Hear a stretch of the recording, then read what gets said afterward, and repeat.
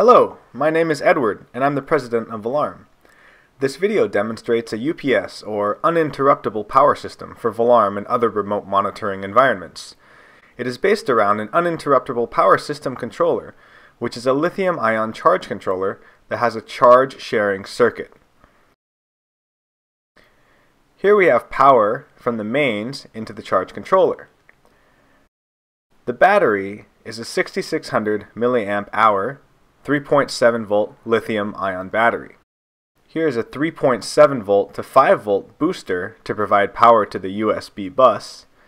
This is a Valarm Y cable that allows this Sony phone to have power, as well as USB OTG control of sensors such as air quality, or in this video you see a 5 channel electrical resistance sensor.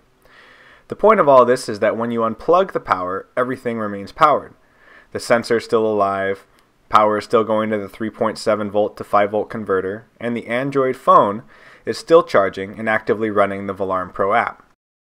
This is all thanks to the lithium ion battery backup. When you plug the power back in, you're now charging again, and everything remains alive and powered. If you have any questions or comments, please don't hesitate to contact us at info at valarm.net.